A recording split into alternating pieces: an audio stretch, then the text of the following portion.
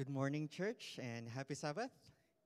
It is a great day to worship the Lord. So, today, uh, worshiping with us are Hillary, Renette, myself, Sean, and uh, Janice. And then on the instruments, we have, of course, Monette and Mix.